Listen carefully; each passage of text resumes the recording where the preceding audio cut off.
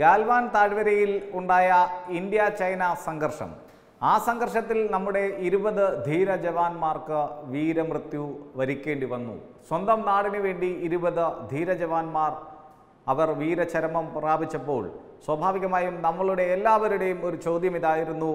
നമ്മുടെ സൈനികർക്കൊപ്പം നമ്മുടെ സൈനികർ ജീവത്യാഗം ചെയ്തതിനൊപ്പം ചൈനയിലെ എത്ര പട്ടാളക്കാരെ നമ്മൾക്ക് കൊന്നൊടുക്കാൻ സാധിച്ചു എന്നത്. സ്വാഭാവികമായും ചൈന ആയതുകൊണ്ടും ഒരു സ്ഥിരീകരണം ഇതുവരെ ലഭ്യമാകാതിരുന്നതുകൊണ്ടും ഇവിടെ എണ്ണങ്ങളെ പറ്റി അതായത് നമ്മുടെ മാധ്യമങ്ങളൊക്കെ പറയുന്നു. ഏതാണ്ട് നാൽപ്പതോളം ചൈനീസ് പട്ടാളക്കാർ ഒന്നുകിൽ മരിക്കുകയോ അല്ലെങ്കിൽ ഗുരുതരമായി പരിക്കേൽക്കുകയോ ചെയ്തു എന്ന ഒരു തരത്തിലേക്കുള്ള വാർത്തകളൊക്കെ ദേശീയ മാധ്യമങ്ങൾ ഉൾപ്പെടെ വന്നിരുന്നു. പക്ഷേ ചൈനയുടെ ഔദ്യോഗിക മാധ്യമമായിട്ടുള്ള ഗ്ലോബൽ ടൈംസും ആ സമയം മുതൽ പറഞ്ഞിരുന്നു ചൈനീസ് പക്ഷത്തും ചില കാഷ്വാലിറ്റീസ് ഒക്കെ ഉണ്ടായിട്ടുണ്ട് എന്ന് അവർ ആദ്യം മുതലേ പറഞ്ഞു വെച്ചിരുന്നു. പക്ഷേ കൃത്യമായിട്ടുള്ള ഒരു കണക്ക് ഇത്ര പേർ മരിച്ചു അല്ലെങ്കിൽ ഇത്ര പേർക്ക് ഗുരുതരമായി പരിക്കേറ്റു എന്ന തരത്തിൽ ഇന്ത്യ നൽകിയതുപോലെ ഒരു വ്യക്തമായിട്ടുള്ള കണക്ക് ചൈന നൽകിയില്ല എന്നത് വാസ്തവമാണ്. അതായത് നമ്മൾ അപ്പോൾ തന്നെ മനസ്സിലാക്കുന്നു എന്തുകൊണ്ട് ചൈന പറയുന്നതെല്ലാം പടുനുണകളാണ്. അവർ പറയുന്നതൊന്നും തന്നെ വിശ്വസിക്കാൻ കഴിയില്ല. ലോകത്തിലെ എല്ലാ രാജ്യങ്ങൾക്കും അക്കാര്യം മനസ്സിലായി. കാരണം ലോകത്തെ മുഴുവൻ വരിഞ്ഞു മുറുക്കിയ കൊറോണയുടെ കാര്യത്തിൽ പോലും ചൈന കൃത്യമായ രീതിയിലുള്ള സത്യാവസ്ഥ പുറത്തു പറഞ്ഞിട്ടില്ല എന്നത് അമേരിക്ക ഉൾപ്പെടെയുള്ള ലോകരാജ്യങ്ങളെ ചൊടിപ്പിച്ചിട്ടുണ്ട്. ചൈനയുമായിട്ടുള്ള പല രീതിയിലുള്ള നയതന്ത്ര വാണിജ്യ വ്യാപാര രംഗങ്ങളിലൊക്കെയുള്ള സഹകരണം മറ്റുള്ള രാജ്യങ്ങളെല്ലാം അതുകൊണ്ട് തന്നെ ചില ചില പ്രത്യേക പരിതസ്ഥിതിയിൽ കുറച്ചിട്ടുണ്ട് അല്ലെങ്കിൽ ഇല്ലാതാക്കിയിട്ടുണ്ട്. അങ്ങനെ ആകപ്പാടെ ഒരു ഒറ്റപ്പെടലിന്റെ ഒരു ഒരു അവസ്ഥാവിശേഷത്തിൽ നിന്ന ചൈനയാണ് ഇങ്ങോട്ട് കയറി ഇന്ത്യൻ പട്ടാളത്തെ ചൊറിയാൻ വന്നത്.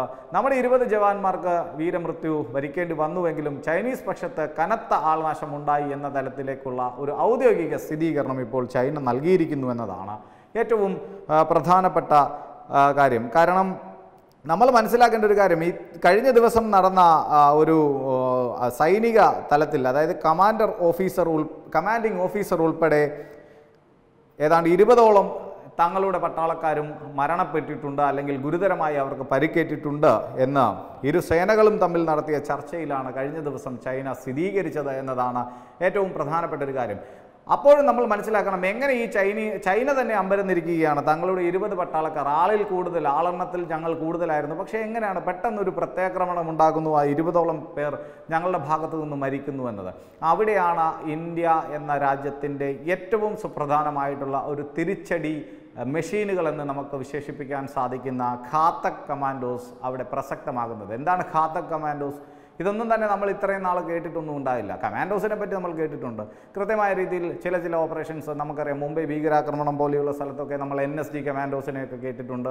അവരുടെ ട്രെയിനിങ് ഒക്കെ പലപ്പോഴും നമ്മൾ ചില വീഡിയോകളൊക്കെ കണ്ട് ദൈവമേ ഒരു മനുഷ്യ സാധ്യമായിട്ടുള്ള രീതിയിൽ ഇത്ര പ്രതികൂല അവസ്ഥയിലും ജീവൻ വരെ തൃണവൽഗണിച്ചുകൊണ്ട് ട്രെയിനിങ് പീരീഡിൽ. അതായത് ഒരു ആയിരം പേരെ സെലക്ട് ചെയ്താൽ ഒരു പക്ഷേ അഞ്ചോ ആറോ പേരായിരിക്കും കമാൻഡോസ് ആയിട്ട് അവസാനം ഒരു കമാൻഡോസ് എന്ന രീതിയിൽ രൂപപ്പെട്ട് ഇരിക്കുക എന്നതാണ് അത്രയ്ക്ക് കഠിനമായിട്ടുള്ള ആകാശത്ത് വെള്ളത്തിൽ ഭൂമിയിൽ മുഴുവൻ രീതി മഞ്ഞിൽ മരുഭൂമിയിൽ അത് എല്ലാ രീതിയിലും എവിടെയൊക്കെ അവർക്ക് പരിശീലനം ലഭിക്കും എന്നൊക്കെ നമ്മൾക്ക് ചില ചില വീഡിയോസ് കാണാം. പക്ഷേ എന്താണ് ഈ ഖാദക് കമാൻഡോസ് എന്നുള്ളൊരു കാര്യമാണ് നമ്മൾ ഇപ്പോൾ രണ്ട് മൂന്ന് ദിവസമായിട്ട് കേൾക്കുന്നു. ഖാത്ത കമാൻഡോസ് ചൈനയ്ക്ക് കനത്ത ആൾനാശം ആൾനാശം ഉണ്ടാക്കിയെന്നൊക്കെ അതായത് കൃത്യമായ രീതിയിൽ മുൻ സൈനിക മേധാവിയും കേന്ദ്രമന്ത്രിയുമായ മന്ത്രിയുമായിട്ടുള്ള വി കെ സിംഗ് തന്നെ പറഞ്ഞു വെച്ചിരുന്നു. അദ്ദേഹം പറഞ്ഞു ഖാദ കമാൻഡോകളടക്കം അണിനിരുന്ന ഇന്ത്യയുടെ പ്രത്യാക്രമണത്തിലാണ് ചൈനയ്ക്ക് ശക്തമായിട്ടുള്ള തിരിച്ചടി നേരിടേണ്ടി വന്നത് എന്നതാണ്.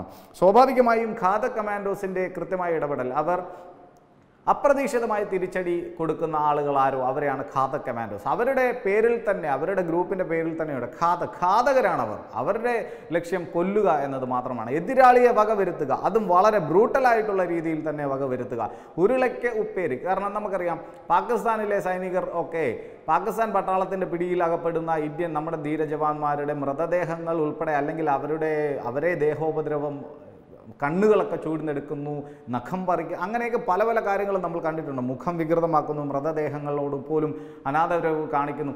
ഇത്തരത്തിലുള്ള ആളുകൾക്ക് അതേ രീതിയിലുള്ള ഒരു മറുപടി നൽകാൻ വേണ്ടിയിട്ട് രൂപപ്പെടുത്തിയിട്ടുള്ള ഒരു സംവിധാനമാണ് ഖാദ കമാൻഡോസ്. അവർ കൃത്യമായ രീതിയിൽ ചൈനീസ് പട്ടാളത്തിന്റെ കഴുത്തൊടിച്ചുൾപ്പെടെയാണ് അവരെ കൊന്നിട്ടുള്ളത്. കൃത്യമായ രീതിയിൽ മുഖമൊക്കെ വികൃതമായ പല ചൈനീസ് പട്ടാളം അവരുടെ കമാൻഡിംഗ് ഓഫീസറുടെ ഉൾപ്പെടെയുള്ള മരണത്തിൽ ഖാദ കമാൻഡോസിന്റെ കൃത്യമായിട്ടുള്ള ഇടപെടൽ ഉണ്ടായിട്ടുണ്ട് എന്നതാണ് ഏറ്റവും പ്രധാനപ്പെട്ട പ്രധാനപ്പെട്ട ഒരു കാര്യം. എന്തായാലും ശരി ഗ്ലോബൽ ടൈംസിന്റെ ഒരു ട്വീറ്റും ഇതിനെ സ്ഥിരീകരിച്ചുകൊണ്ട് വന്നിട്ടുണ്ട്. ഖാദ കമാൻഡോസ് ഇന്ത്യൻ ഖാദ കമാൻഡോസ് എന്ന ഒരു വിഭാഗത്തിന്റെ പ്രത്യാക്രമണത്തിലാണ് തങ്ങൾക്ക് തങ്ങളുടെ ഒരു കമാൻഡിംഗ് ഓഫീസർ അടക്കം നിരവധി സൈനികരെ നഷ്ടമായതെന്ന് ഗ്ലോബൽ ടൈംസിന്റെ ഒരു ട്വീറ്റും വന്നിട്ടുണ്ട്. അതിർത്തിയിലെ മരണത്തിന്റെ കാര്യത്തിൽ ചൈന നടത്തുന്ന ആദ്യത്തെ സ്ഥിരീകരണമാണിത്. അതിനിടെ പാങ്കോങ് തടാകത്തോട് ചേർന്നുള്ള മലനിരകളിൽ ഇന്ത്യൻ ഭാഗത്തേക്ക് ചൈനീസ് സേന കടന്നു കയറിയതിന്റെ കൂടുതൽ ഉപഗ്രഹ ദൃശ്യങ്ങളാണ് ഇപ്പോൾ പുറത്തു വന്നുകൊണ്ടിരിക്കുന്നത്.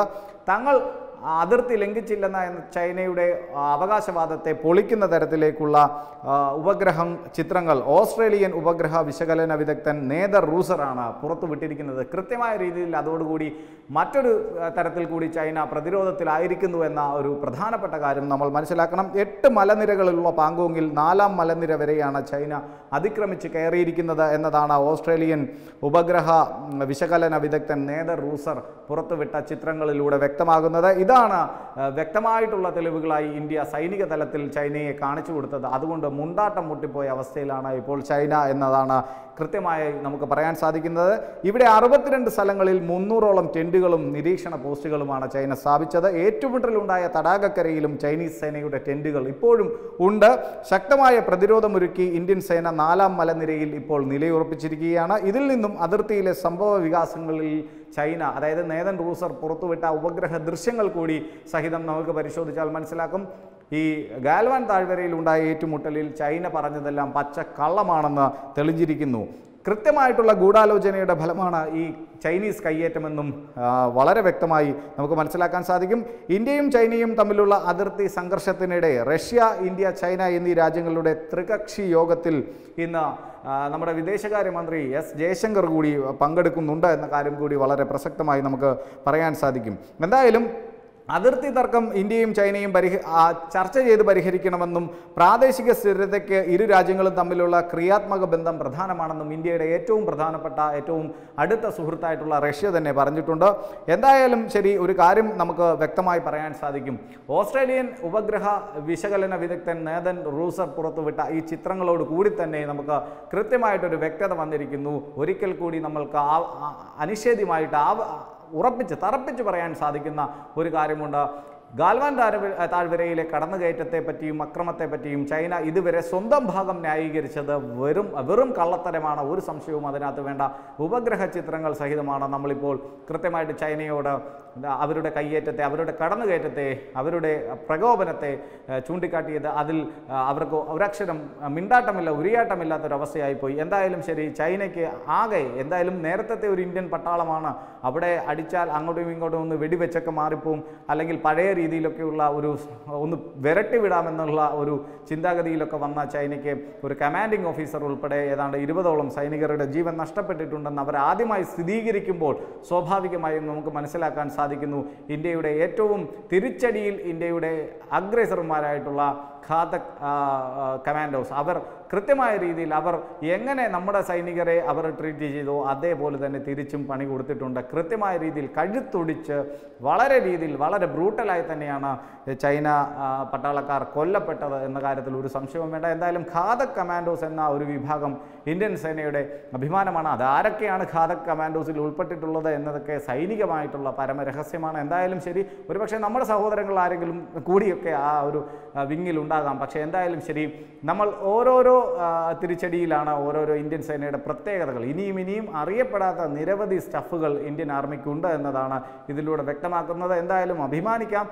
നമ്മുടെ സൈനികരുടെ ജീവന് കൃത്യമായ രീതിയിൽ പകരം ചോദിച്ച ഖാതക് കമാൻഡോസിന് ഇരിക്കട്ടെ ഒരു സല്യൂട്ട്. എന്തായാലും പച്ചക്കള്ളം പറഞ്ഞ ചൈന ഇന്ന് ഇന്ത്യ ചൈന റഷ്യ ത്രികക്ഷി ചർച്ചയിലും ഒറ്റപ്പെട്ടു പോകുമെന്ന കാര്യത്തിൽ ഒരു സംശയവും വേണ്ട. നമ്മുടെ വിദേശകാര്യമന്ത്രി എസ് ജയശങ്കർ ആ ഒരു ചർച്ചയിൽ പങ്കെടുക്കുന്നുണ്ട്. അദ്ദേഹം കൃത്യമായിട്ടും ഈ നേതൻ റൂസർ ഓസ്ട്രേലിയൻ ഉപഗ്രഹ വിശകലന വിദഗ്ധൻ പുറത്തുവിട്ടിട്ടുള്ള ഉപഗ്രഹ ചിത്രങ്ങളോടുകൂടി ഇന്ത്യ ഉന്നയിക്കുന്ന വാദങ്ങളെ എത്രത്തോളം അതിനു മുമ്പിൽ എത്രത്തോളം പിടിച്ചു നിൽക്കാൻ ചൈനയ്ക്ക് കഴിയുമെന്നതാണ്. അതുകൊണ്ട് തന്നെയാണ് സ്വന്തം തെറ്റ് മനസ്സിലാക്കി ഇപ്പോൾ മേജർ ജനറൽമാർ തലത്തിലുള്ള ചർച്ചയിലുമൊക്കെ ചൈന ഇപ്പോൾ സജീവമായി പങ്കെടുക്കുന്നത്. ഇനിയൊരു പ്രശ്നമുണ്ടായാൽ ലോകത്തെമ്പാടും തങ്ങൾ ഒറ്റപ്പെട്ടു പോകുമെന്ന കൃത്യമായിട്ടുള്ള വ്യക്തമായിട്ടുള്ള ബോധ്യം ചൈനയ്ക്കുണ്ട്. എന്തായാലും ഒരിക്കൽ കൂടി നമ്മുടെ ഘാതക് കമാൻഡോസിന് ഒരു ബിഗ് സല്യൂട്ട് അവർ കൃത്യമായ രീതിയിൽ ഉരുളയ്ക്ക് ഉപ്പേരി പോലെ മറുപടി കൊടുത്തിട്ടുണ്ട്. ചൈനയ്ക്ക് ആ മറുപടി നല്ലവണ്ണം ബോധ്യപ്പെട്ടിട്ടുണ്ട് ബോധിച്ചിട്ടുണ്ട് എന്നതാണ് വസ്തുത.